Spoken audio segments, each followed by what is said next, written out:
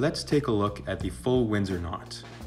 In beginning, make sure you give yourself a lot of leeway on the thicker end of the tie as it takes 10 total movements to perform this knot.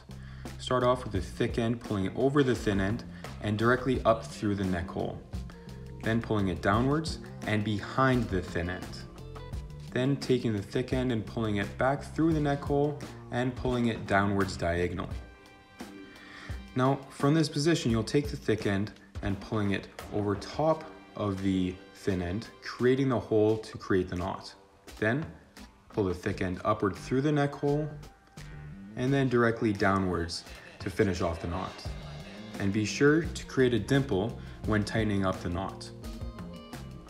The full Windsor knot will generally be used in a formal business setting, and you will also find it in classier events such as a gala. You should be pairing the full Windsor knot with a spread collar or a cutoff collar, generally because it is a much thicker knot and it won't do well with a thinner pressed collar.